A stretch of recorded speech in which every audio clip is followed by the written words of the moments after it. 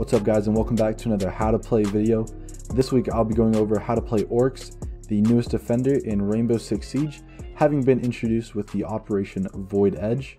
And before getting into the bulk of things, I would love to mention that I have a playlist about other videos I've made considering how to play Rainbow Six Siege operators. So feel free to check that out. It'll be down in the description below. And yeah, let's move on First and foremost, we're definitely going to be going over the loadout. So the main loadout that I would run would be this. I'd be running the MP5 with either reflex or red dot, depending on your preference, with vertical grip and flash hider. And then the secondary would definitely be the bailiff. And I just want to let you guys know that if you are going to run laser sight, just know that it's mainly to increase your hip fire and that I personally wouldn't use it, but nonetheless, it's an option. And the reason I'd use the bailiff is to mainly use it to break hatches. So if you don't really want to break hatches or things like that, I would say use the USP 40. And lastly, the secondary gadget. Of course, it does depend on what situation you're trying to use Oryx for. I've found that I've used barbed wire mainly.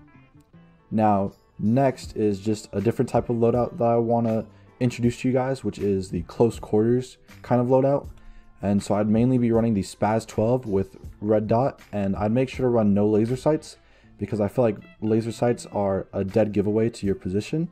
And also I'd be running the USP 40 with muzzle brake.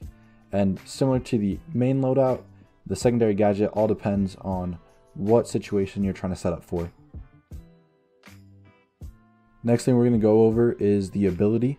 So the main thing that I want to get across to you guys is you mainly want to use this ability for close quarter rotations and busting open barricades. Now, he is a soft destruction type of operator, and nothing's wrong with using Oryx to make rotate holes through soft walls. The main thing that I also want to say is just that you gotta use it sparingly if you're gonna do it on soft breaching areas because of the health damage that Oryx gets when using his ability through things like soft walls. You will lose 10 health each time, and if you don't have a Doc, it's really gonna work against you rather than work for you overall. If you really need to make rotate holes, ask someone on your team to get someone with a shotgun or impact nades. You know, Rook, Smoke, those kind of guys would be more helpful at making rotate holes rather than Oryx himself. If you want to spend the time using your bailiff, then feel free to. I think that's one of the bigger waste of times though, because of the playstyle that we'll be getting to next. So for the playstyle, I'm going to be pretty much splitting it up into do's and don'ts uh, for operators now. And so let's start off with do's. So as Oryx, you definitely do want to play an off-site anchor. And so just to kind of elaborate, on what an offsite anchor is. It's similar to roaming, but instead of um, constantly moving around, you're anchoring in one area.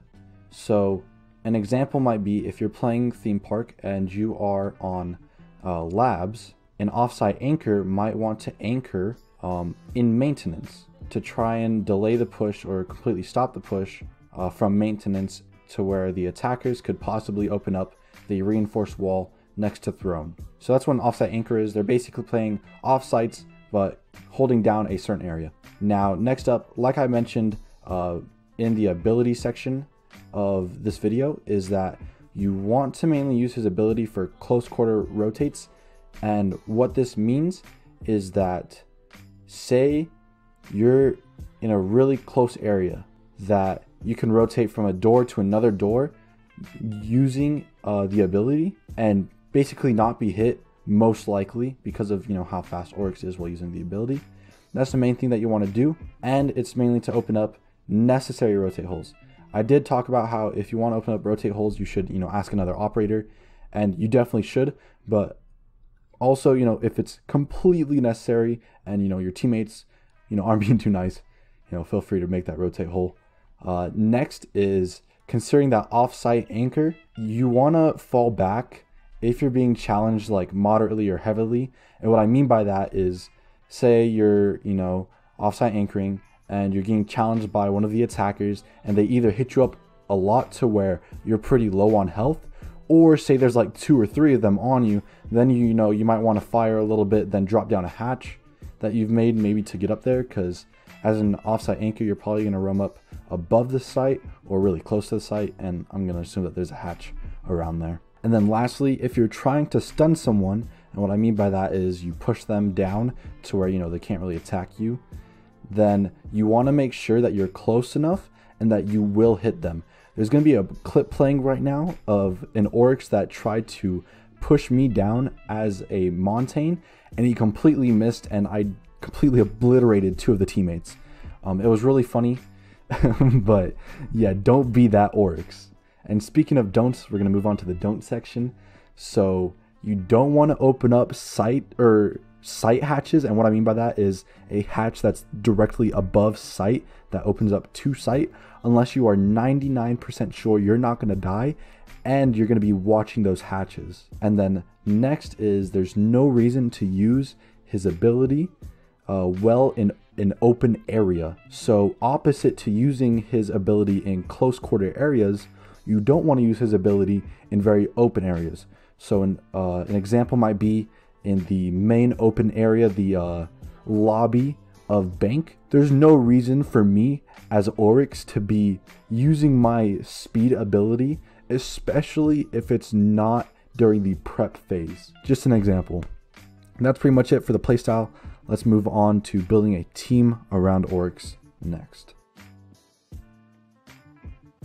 So if you're really trying to make Oryx shine as an operator on your team, uh, the best way to build a team around Oryx would definitely to have a Doc so that you can really open up a lot of areas and you know not really be punished for it. And then next is considering the playstyle of offsite anchoring, having a castle uh, to castle up a few places around that offsite anchoring Oryx would be really nice.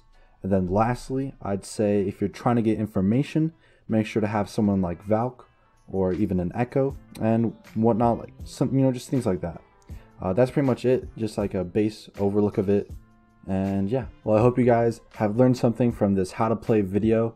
And if you want to see more how to play videos, go check the playlist down in the description below.